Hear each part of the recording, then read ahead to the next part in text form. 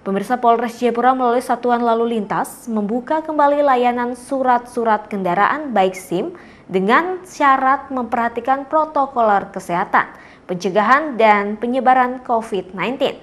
Layanan tersebut telah dibuka pada tanggal 28 Mei 2020 lalu.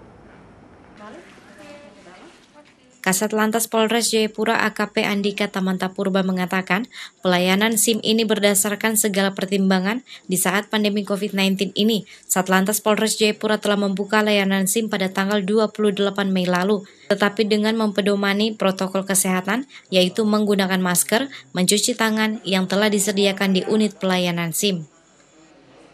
Berdasarkan segala pertimbangan di tengah kondisi pandemi ini, sejak tanggal 28 bulan Mei Satpas Polres Jayapura sudah mulai beroperasi kembali. Tapi tentunya tetap mempedomani protokol kesehatan yang ada untuk meminimalisir atau memutus mata rantai persebaran COVID-19. Jadi setiap pemohon diwajibkan untuk mencuci tangan terlebih dahulu sebelum memasuki ruang pelayanan.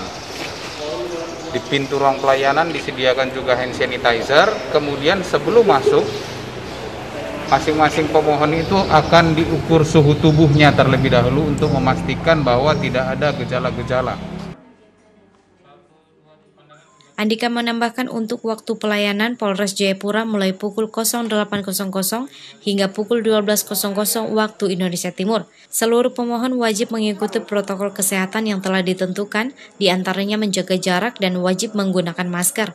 Untuk petugas juga harus mematuhi protokol kesehatan yang ditentukan, mengecek suhu tubuh sebelum bertugas, menggunakan masker, menggunakan face shield, dan jaga jarak. Dari Kabupaten Jayapura, Cornelia Mudumi Ainis Jayapura memberitakan.